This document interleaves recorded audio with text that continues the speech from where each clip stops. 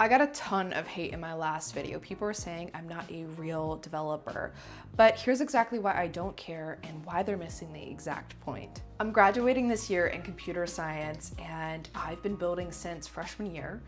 I wasn't raised a childhood prodigy in coding where I have some massive knowledge since nine years old. You know, I've built websites, I've built apps, I've built agentic systems and flows, and I have a generalized knowledge of most languages with Rust to C++ to HTML and using platforms like Docker, Postman, React. But when I started this startup, I made the conscious decision to use AI because it'd accelerate my ability to debug code 10 times faster than I would be from manually writing it. Backend is not my strength, so I decided instead of wasting days debugging backend code, which is not my strength, I'd rather move 10 times faster and get a product actually out to people. I'm not in the game of perfecting every single syntax. I'm in the game of building products as fast as possible from conception to physical reality. And if you're coding in 2025 without AI, you're already behind. It is the future.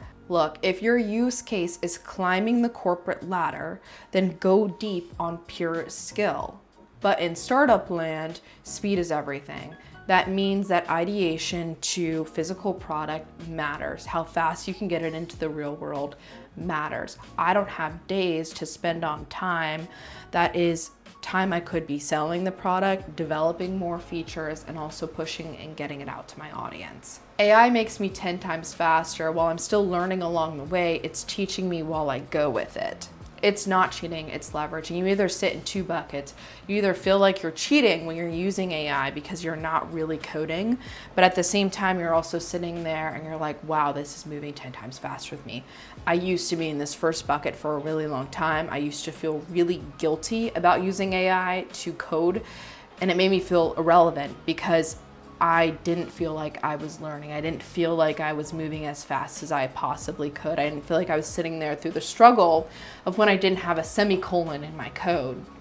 But what I can say is that, frankly, I had to sacrifice my ego and understand that, hey, I'm actually building a company, and that what matters is getting to the conception of the product. What matters is the people that I'm serving in order to do this. And I have to get over myself of feeling bad that I'm, I'm, I'm not doing this exactly the way that's standard and the way that's taught. It had, I had to evolve my philosophy.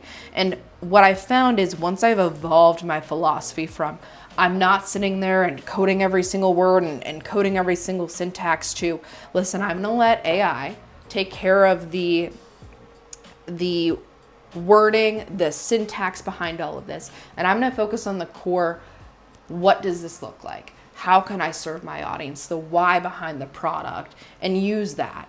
And where my coding knowledge actually does come into place is debugging that because AI is not perfect and it's not always going to build the right code. And so combining these two into this one area of, you know what, I don't need to code every single thing out. I can build the base of understanding what my code looks like and let AI build it to build a core product that is better and at the end of the day teaches you along the way. So yeah, I am a vibe coder, and while devs argue about frameworks, I'm building multi-million dollar companies.